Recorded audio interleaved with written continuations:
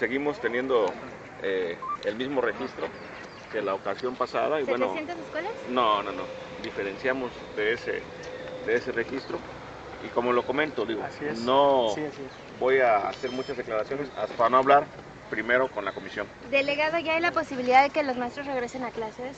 Se está trabajando en ello y les pido de favor que hasta que no hable con la comisión voy a hacer declaraciones. Muchas gracias a todos.